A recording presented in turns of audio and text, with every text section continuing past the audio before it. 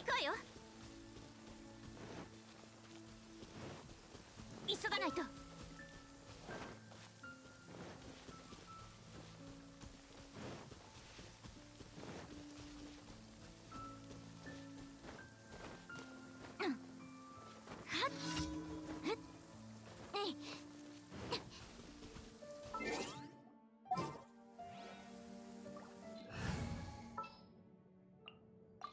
仕事の時間ですか？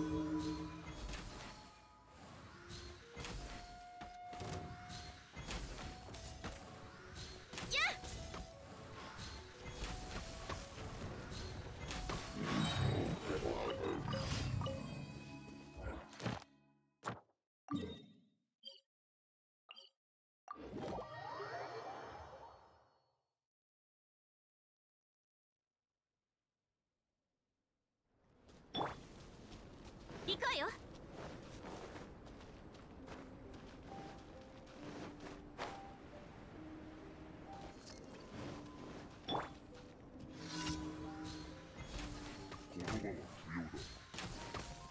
吸引テスト開始。我が剣よ影に従え。風みんなは俺が守る。行け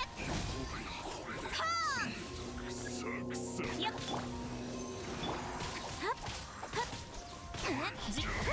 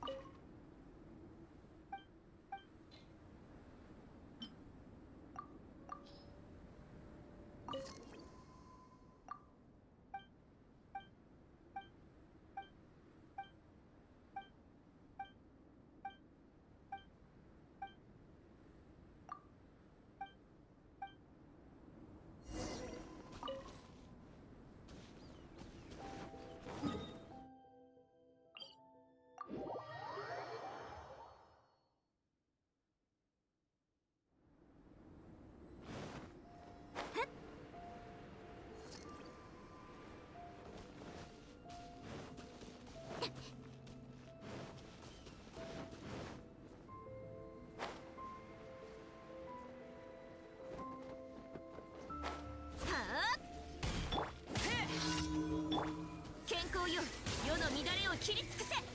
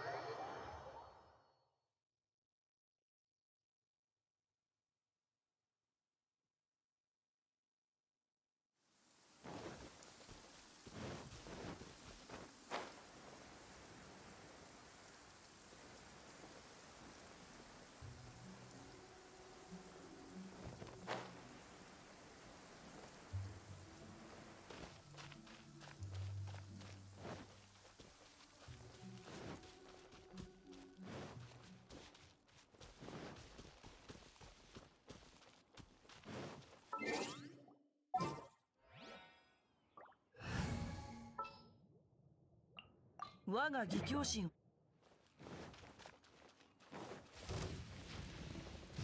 雨描きがたし。雨描きがたし。歌よ錦と。全力攻撃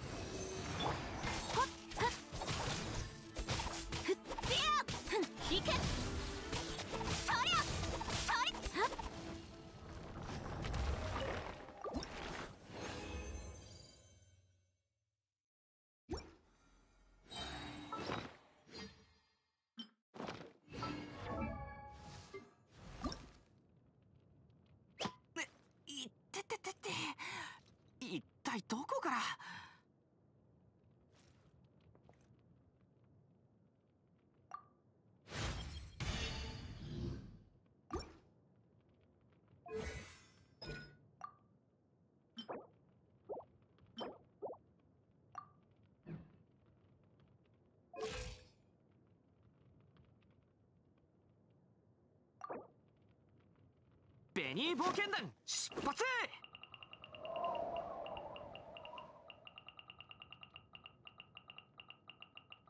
あ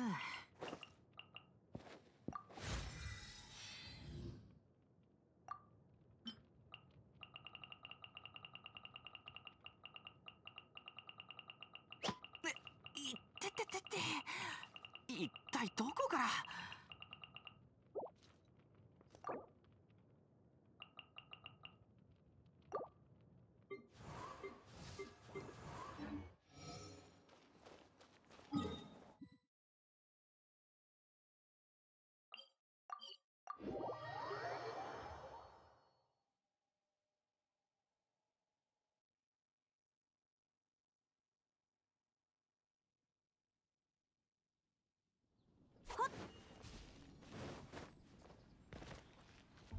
行こうよ。行こうよ。星と新無事今日の依頼を達成星と新へ。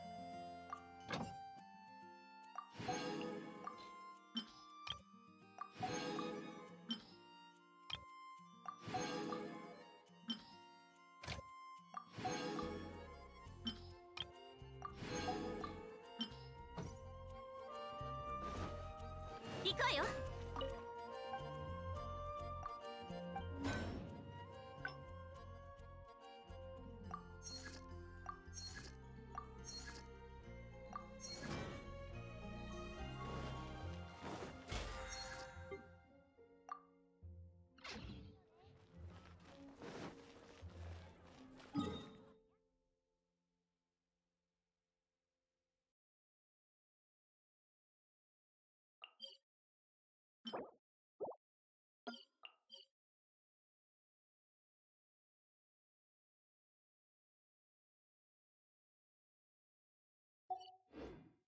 たことあるかい？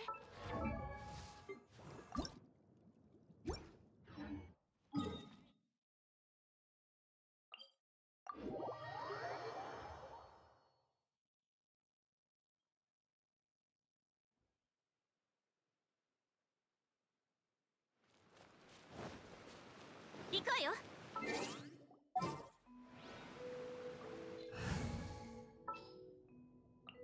あなたとの契約を守ります。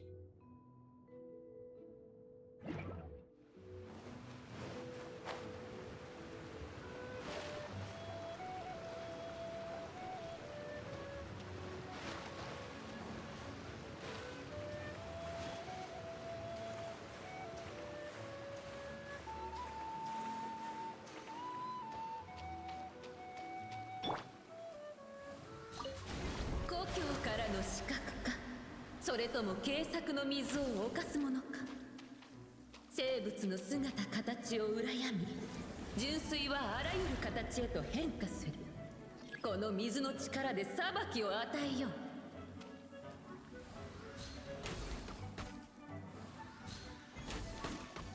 う。いかようにもなれる。それが水の力。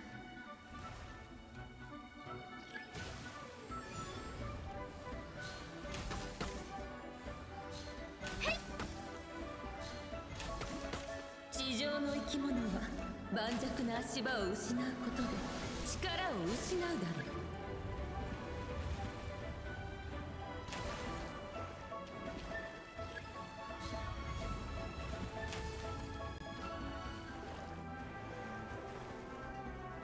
いかようにもなれる。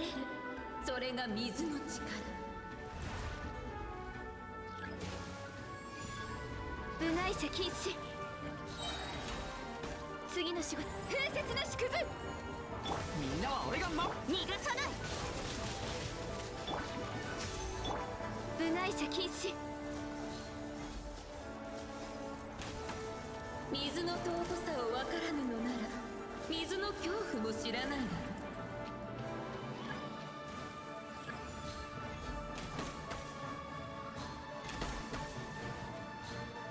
ろお触り禁止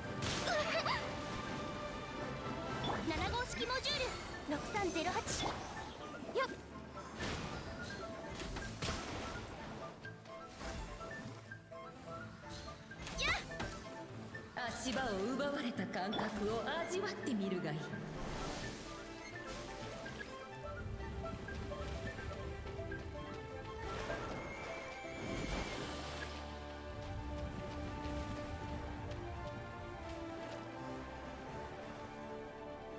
いかようにもなれる。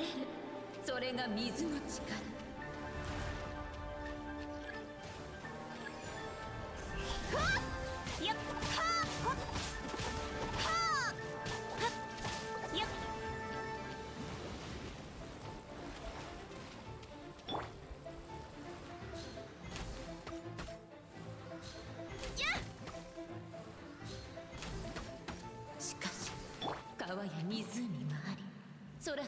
雨が降る限り水は消えない。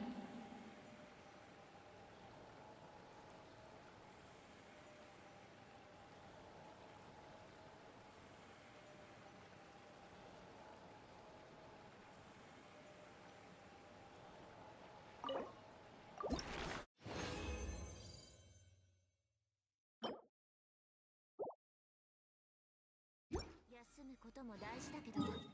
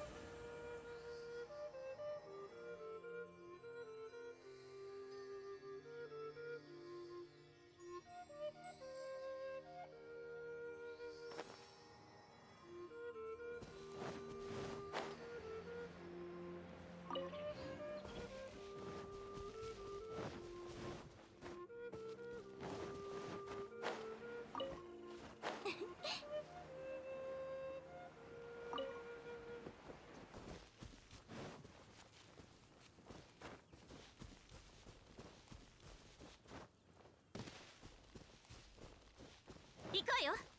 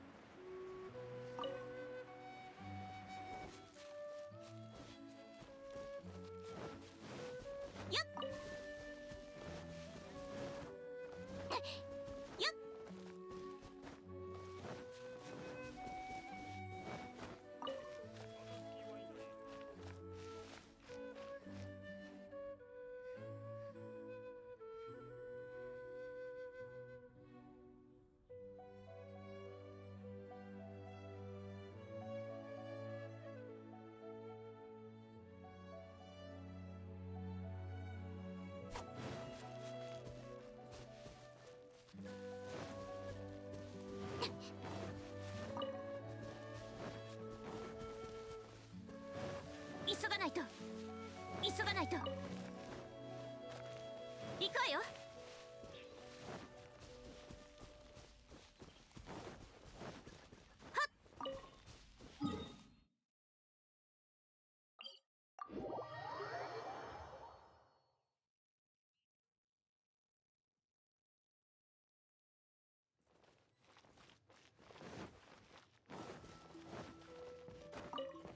行こうよ。ないと。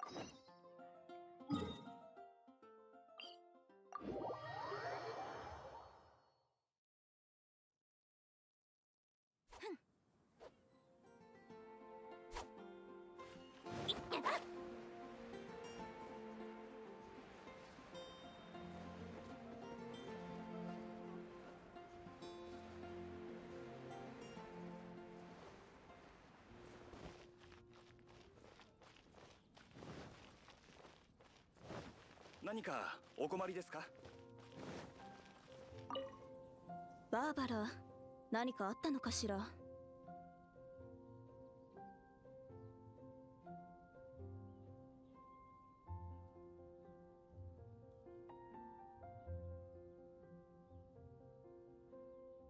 彼女薬草を取りに行ったきり帰ってこないの。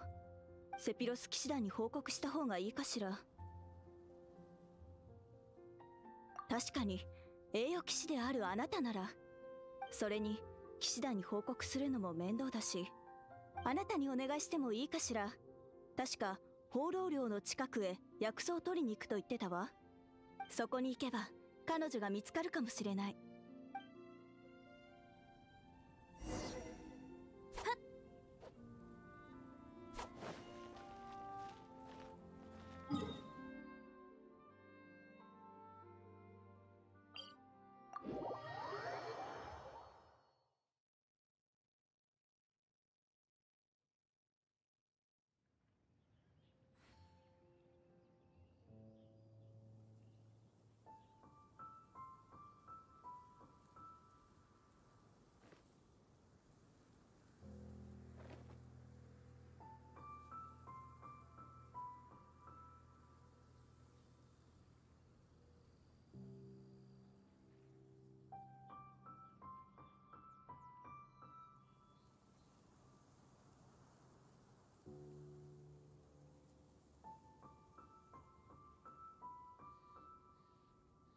休むことも大事だけど気を抜きすぎてはダメよ。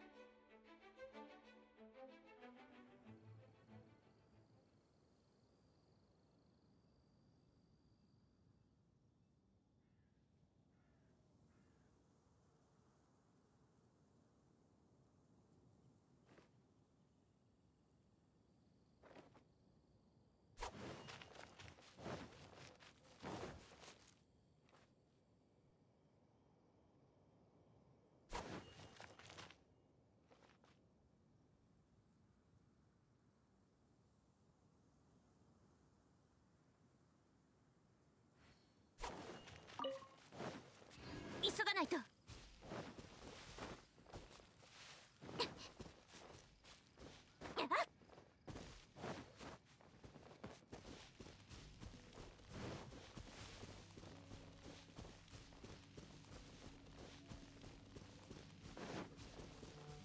行こうよ。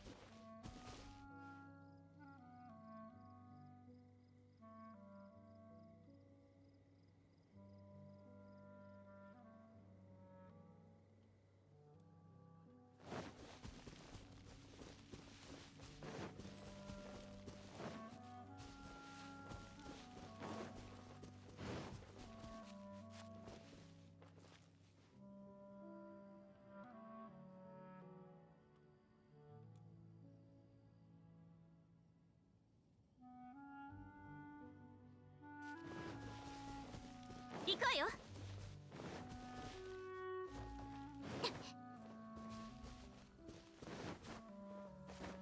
行くわよ。急がないと。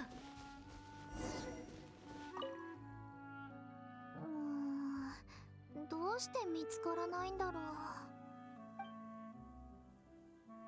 あれ？どうしてここに？何かあったの？ありがとう。でも私は大丈夫だよ。ここで赤いググプラムを探してただけだから。おかしいな。この辺でたくさん取れるはずなのに。まだ一つも見つからない心配しないで。もう少し探せば見つかるはずだから。バーバラ様！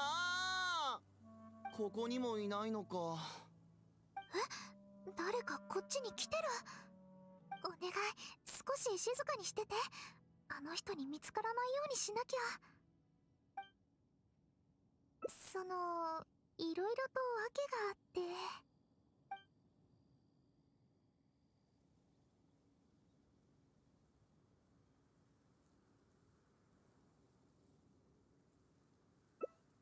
うんそうだね。奥へ逃げよう。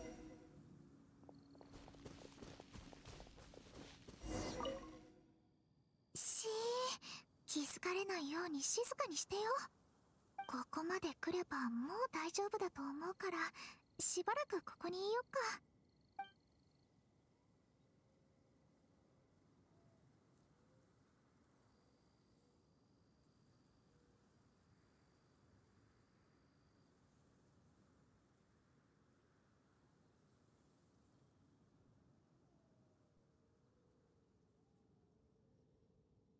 自分で言うのも少し恥ずかしいんだけど。私モンド城のみんなのために歌を歌ってるの。みんなも私の歌が好きでシスターたちも応援してくれてるんだ。私の歌を聴いてくれる人も徐々に増えてくれててね。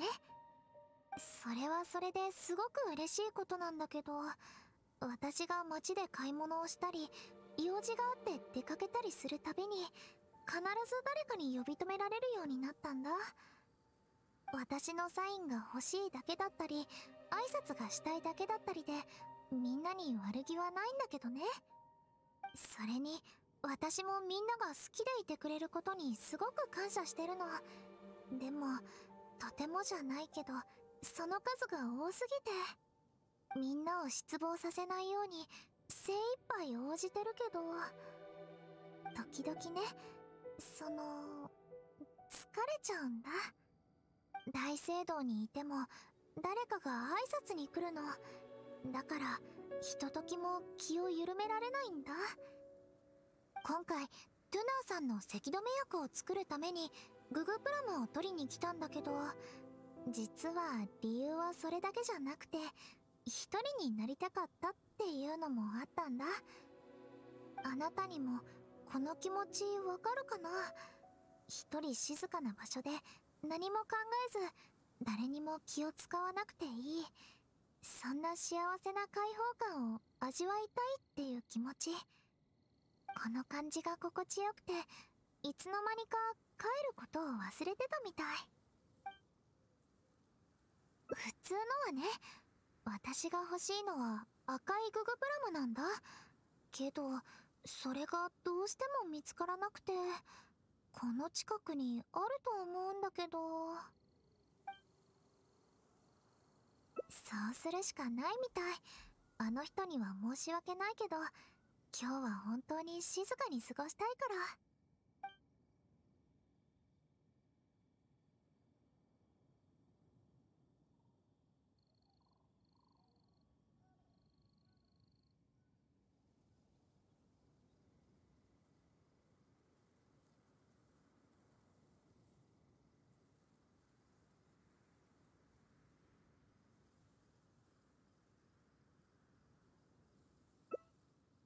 家族か。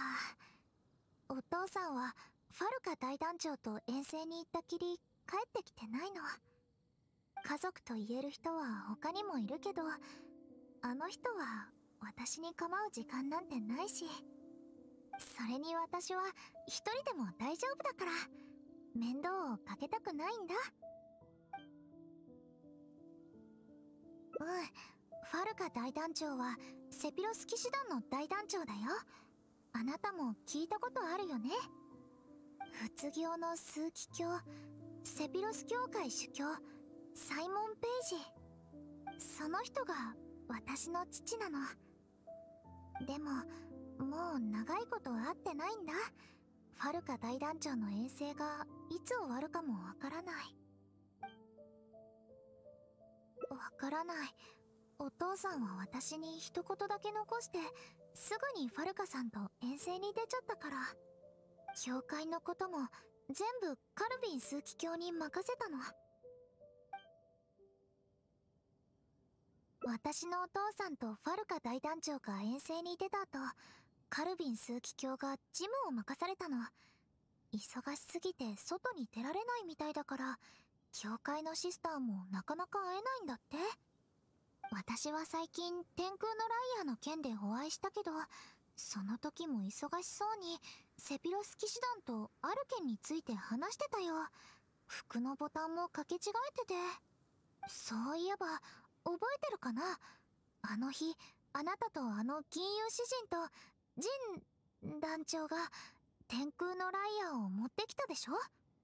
天空のライアーが壊れてるのを見て私気絶しかけたよね。はあ。あの金融詩人が直してくれなかったらどうなってたことか。もし天空のライアーが本当に壊れてたらカルビン枢機卿絶対に怒るから。あれ？汗かいてるみたいだけどどうしたの？天空のライアーがどうかしたのかな？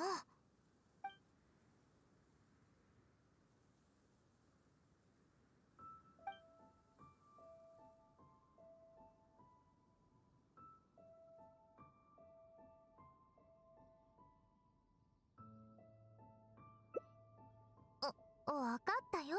もう聞かない。どうせ天空のライアーはもう治ってるんだし。この話はおしまい。あの人ももう遠くに行ったみたいだからそろそろググプラムを取りに行かなきゃ。赤いググプラムどうして見つからないんだろう。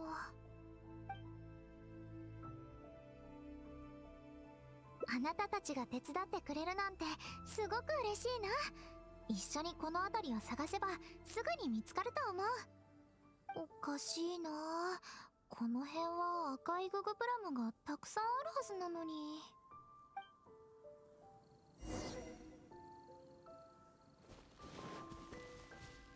これがバーバラの言ってた赤いググプラムじゃないか？早く取って彼女に届けようぜ。急がないと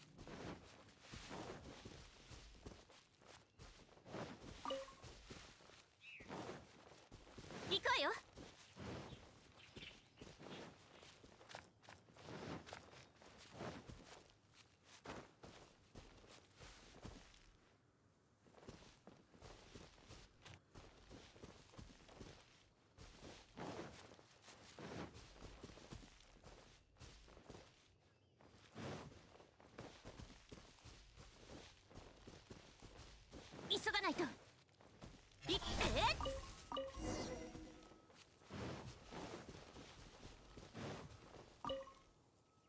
赤いググプラムは取れた？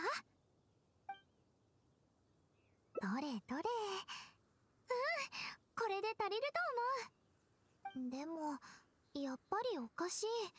この辺は赤いググプラムがたくさんあるはずなのに。もしかして誰かが先に取ったのかな？うん。まあいっか。もう十分取れたし。とりあえずここを離れましょう。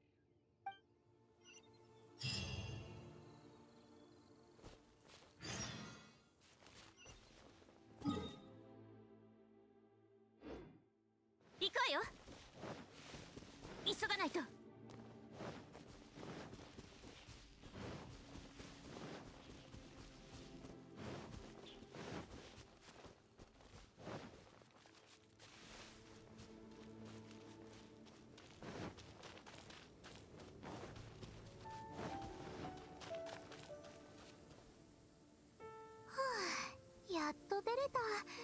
放浪量は一人でぼーっとするにはぴったりだけどあまり日の光が当たらないから。あそこに長居してるとどんどん気持ちが暗くなってく気がするよ。元気を保つにはやっぱり日の光を浴びるのが一番だね。そうだ。せっかくここに来たんだし暁ワイナリーのトゥナーさんの様子を見てくるね。前にしっかり休むよう忠告したんだけどずっと聞かなくて。ゲールに言わないでくれんなんて言うし。だから彼の状態を確認してから彼に作る薬を決めようと思うの。でね私がトゥナーさんのところに行くこと私の代わりにシスター・ビクトリアに伝えてきてくれないかな。こんなに長い時間戻らないと心配かけちゃうかもしれないから。それにまだ教会でやらなきゃいけないことがたくさん残ってるの。だからまだ帰れないことを伝えておかなくちゃ。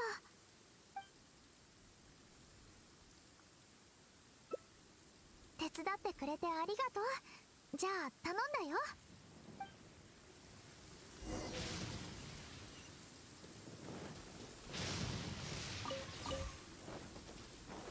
急がないと。い安全距離。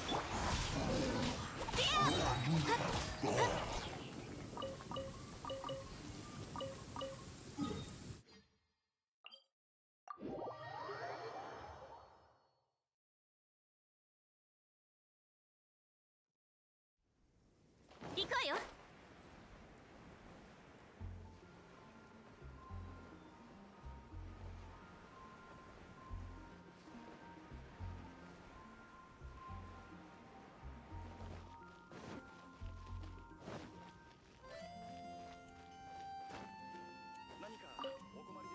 あらバーバラならまだ帰ってきてないわよ。そうなの。無事ならよかったわ。ということはすぐには帰ってこれないのね。教会のことは他の人にお願いしなきゃ。あら手伝ってくれるの？ごめんなさいね面倒かけて。そうね。大聖堂の周りを掃除してくれないかしら？大聖堂の周りは人がたくさん来るから汚れやすいの。いつもバーバルに任せてたから彼女がいないとすぐ汚れちゃって。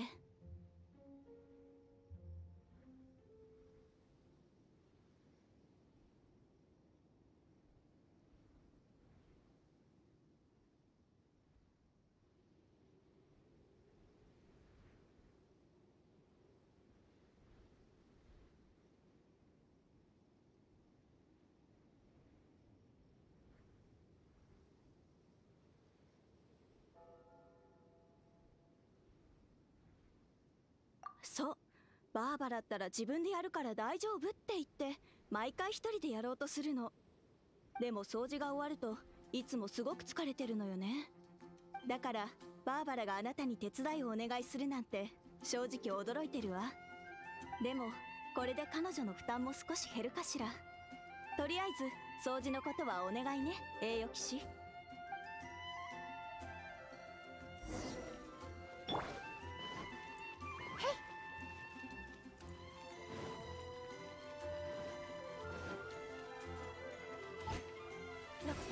式ユニット。6308式ユニット。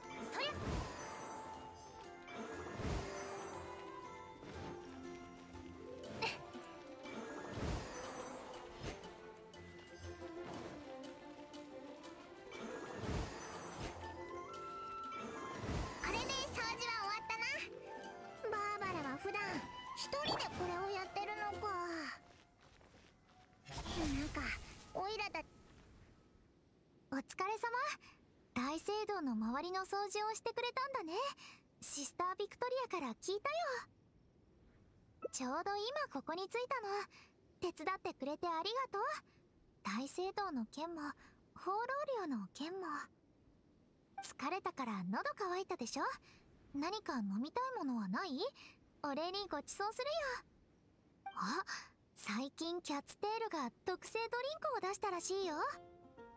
マーガレットさんから聞いたんだけど名前は偉大なる幻想憂鬱産後記法茶だったかな。エンジェルズシェアの売り上げを超える秘密兵器なんだって。とっても美味しくてすごく人気みたい。だから顔には長い列に並ばないといけないんだけど。もし並ぶのが嫌なら私がスパイシードリンクを作ってあげる。どっちにする？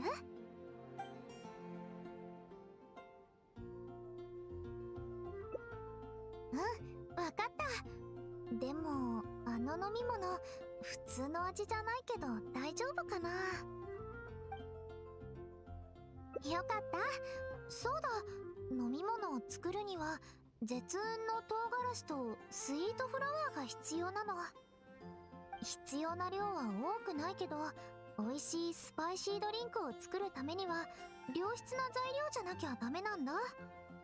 新鮮な絶雲の唐辛子が取れるところは知ってるけどスイートフラワーはちょっと難しくてね。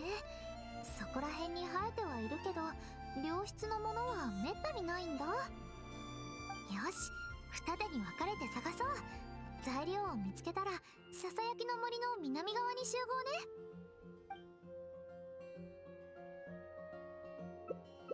そうかな。それでもいいけど。でも確かに栄誉騎士がそばにいてくれた方が材料を取るときも安心できるね。そうだ。一応お休みを半日取ったけど外に出るときは必ずシスタービクトリアに行き先を伝えなきゃいけないの。まずはシスタービクトリアに報告しなきゃ。えっと薬草を取りに行くってことにしとこっか。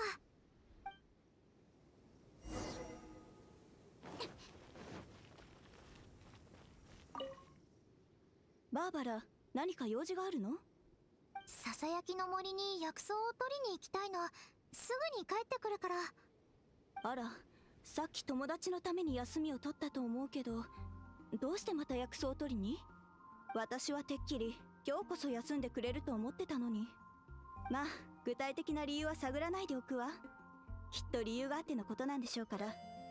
でももし遠いところならセピロス騎士団に護衛を申請した方がいいんじゃないかしら栄誉騎士も一緒だから何も問題はないわ。分かったわ。行き先は記録しておくからあまり遅くならないでね。うんお願い。ありがとう。これでよし。じゃあ出発しよっか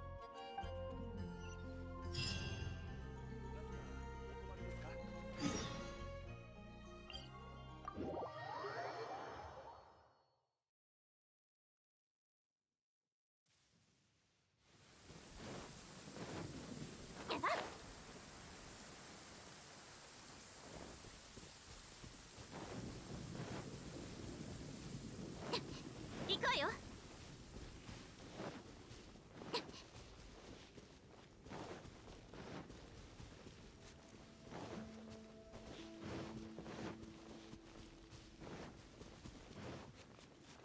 着いたよ。この辺りに良質なスイートフラワーが生えてるんだ。私もよくここに来てスイートフラワーを取るんだけどこんなに魔物がいるなんて珍しいな。とりあえず魔物を片付けてからスイートフラワーを探そう。ふうこれで片付いたね。さすが栄誉騎士。確かに楽勝だったね。あ待って。腕怪我してるよ。ダメ。小さな傷口でも放っておくと悪化する可能性があるんだから。ちょっと待ってて。すぐに直してあげる。これでよし。じゃあスイートフラワーを探そっか。ああのあなたはセピロス教会の牧師さんでしょうか？はい。私に何か用ですか？よかった僕の傷を治療してくれませんか？ぼ僕は清泉町のカーリュードです。ここに来る途中魔物に襲われてしまって必死に逃げてきたんです。お願いします。治療してください。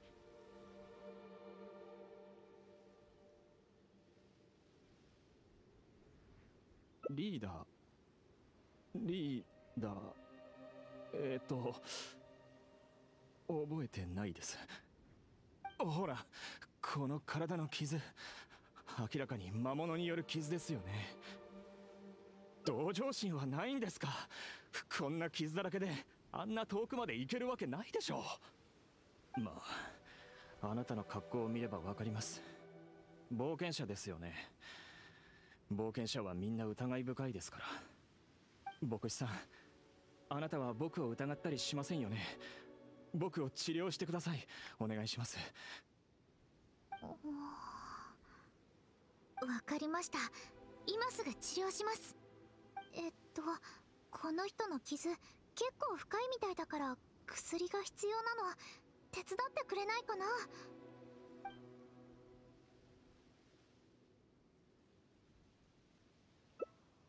じゃあとりあえず私はイグサを取ってくるね。あなたはここでこの人を見てて魔物に襲われないよあなた。いいですよ。何せ同情心のかけらもない冒険者ですから。牧師さん僕はあの魔物たちから何とか逃げてみせますので早く戻ってきてくださいね。お願いしますよ。うにできるだけ早く戻ってくるから安心して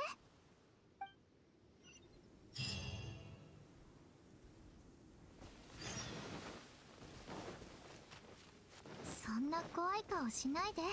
何が言いたいか分かってるから。モンド城の周りにいる宝刀団の犯罪手口については私も他の人から聞いたことあるの。普段なら教会に行かせて治療を受けさせるだけだけど。あの人の傷は本当に今すぐ治療が必要なくらい深刻なの。それに栄誉騎士のあなたがそばにいてくれるなら私も安全でしょよし。じゃあイグサを見つけてから彼の治療を始めよう。急がないと。行くわよ。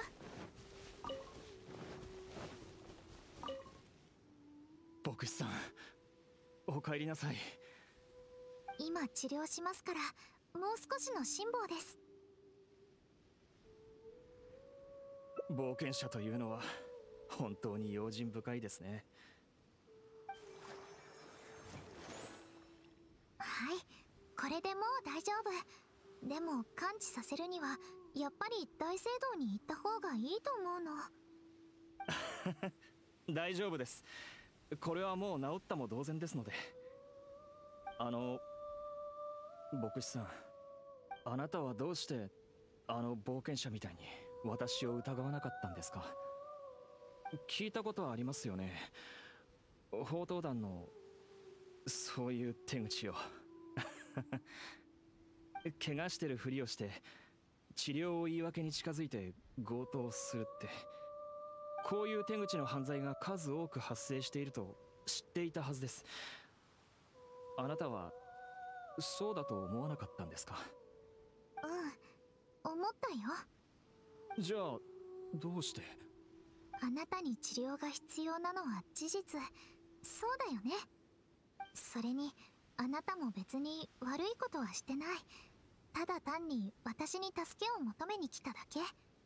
どんな身分であれ私にとっては治療が必要な患者さんだったってことだよ。牧師さん実は僕本当に宝刀団なんです。おまけに怪我を装って人を襲おうとしていました。けど魔物に襲われて本当に怪我を負ってしまったんです。必死に逃げて道行く人に助けを求めました。でも誰も信じてくれずどうすればいいのか分からずにいた時あなたがやってきてくれたんです。治療してくれて本当にありがとうございました。もう迷惑はかけません。僕はここを離れます。え？モンド城に行って教会で治療を受けた方がいいよ。まだ完全に治ってないんだから。大丈夫です。もう迷惑はかけません。そうだ。これを価値のあるものは持ってませんがせめてものをお礼にこのスイートフラワーはこの辺りで採れたものです。治療の報酬だと思って受け取ってください。本当にありがとうございました。もし今後宝刀団があなたにちょっかいを出そうものなら僕の名前を言ってください。そうすればあなたにちょっかいを出そうなんて思わなくなりますから。では僕はこれでさようなら。本当におかしな人だったね。でも傷はもう大丈夫みたい。それにスイートフラワーが手に入ってよかった。もう時間もないしこれがなかったらスパイシードリンクを諦めることになってたかもね。うん品質よし。材料は揃ったね。早くモンド城に帰ろう。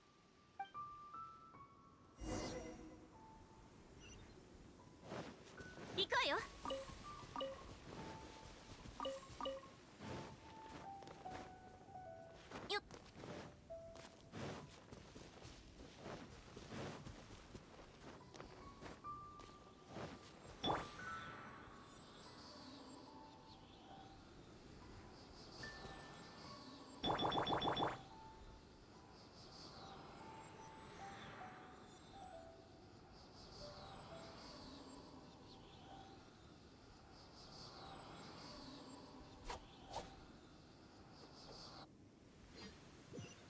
くわよ。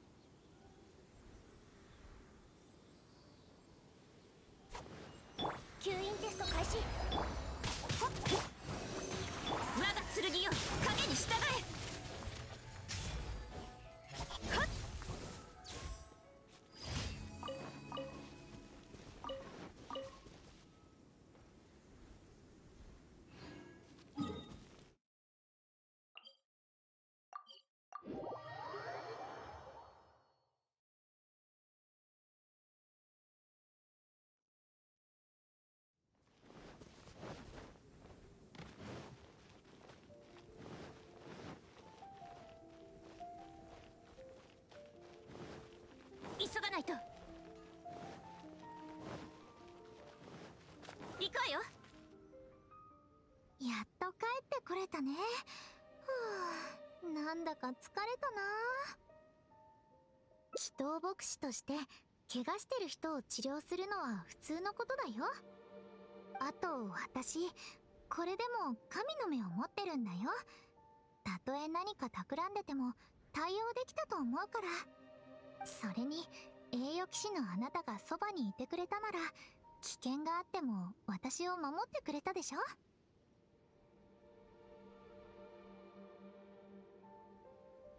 私一人だけだったらうん。神の目は持ってるけど戦いは苦手だしもし敵の数が多くて長期戦に持ち込まれたら多分やられてたかも。あなたがそばにいてくれなかったら薬だけ残して治療はしなかったと思う。これでも自己防衛意識はちゃんとあるから。まあシスター・ビクトリアからは野外では他人の治療をしない方がいいって言われたことがあるんだけど。でも神の目を持ってるんだから少しくらい大丈夫だよね。じゃあスパイシードリンクを作ってくるね。すぐにできるから。冒険者協会の隣にある庭園で待ってて。完成したらそこまで持っていくから。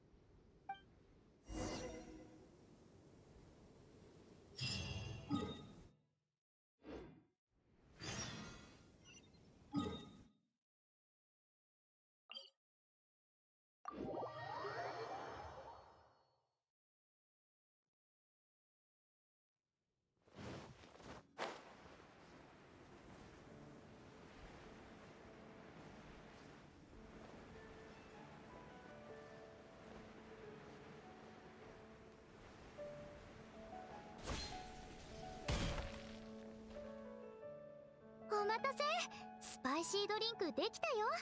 ここでゆっくり飲もう。はいあなたの分しっかり味わってね。本当？よかった。口に合うかどうか心配だったんだ。私がスパイシードリンクを好きな理由はねちょっと恥ずかしいんだけど。最初はただ単に眠気を覚ますために飲んでたの。歌の練習をするようになってから毎朝早起きしなきゃいけなくて練習が終わった後には教会の仕事もあったし両方おろそかにならないようにしなくちゃって思ったんだ。でも朝はやっぱり眠いから寝ぼけて練習しても何を歌ってるのか自分でもわからなくて結局あまり練習の成果が出なかったんだ。それで朝ちゃんと目が覚めるようにいろいろ試したの。ランニングとかミントとかスライムと戦うとか。でもどの方法もいまいちピンとこなくて目が覚めるにしても時間がかかりすぎて練習する時間がなくなったりしてたの。そこで絶雲の唐辛子で眠気を覚ます方法を試してみたんだ。サラさんにもそう言われたよ。だから直接食べるんじゃなくて絶雲の唐辛子をまろやかにブレンドした飲み物にしたの。スイートフラワーで刺激を緩和する方法はサラさんから教わったんだよ。それから毎朝そのスパイシードリンクで眠気を覚ましているうちにその味が好きになっちゃったの。飲んだ時の辛い感覚も私にもっと努力しろって言ってくれてるような気がして。そう言われると照れちゃうな。あなただってすごく努力家なんでしょ？それにアンバーから聞いたよ。自分の家族を探すために旅をしてるんだよね。あなたが経験したことこれから経験することは歌がうまい下手とかそんなことなんかより道だと思う。あまり役に立てないけど治療が必要ならいつでも私を呼んで。どんな傷でも私が治してあげるから。お少しおせっかいだったかな。ごめんなさい。気が緩んでつい。今日はせっかくの休日だしこの飲み物をゆっくり味わってリラックスしよう。明日になったらそれぞれの道に向かって努力しなきゃね。私たちの願い叶うといいね。